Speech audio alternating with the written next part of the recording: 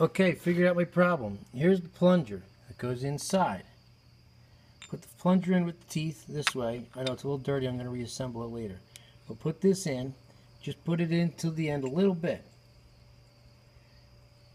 Now, you bring around here and you have the teeth facing away from where the end of the plunger is. If you look right in there, I won't allow focus here, you can see the end of the plunger with the O-ring. Now if you spin from the outside, I've got this leaning right off the end of the bench so I can spin. If you don't have it in far enough, see it just knocks. So bring it off a little bit, slide it in a little bit and you'll catch the first tooth. Look at that, caught the first tooth. Now I got it. See that? Now I got it. Viola.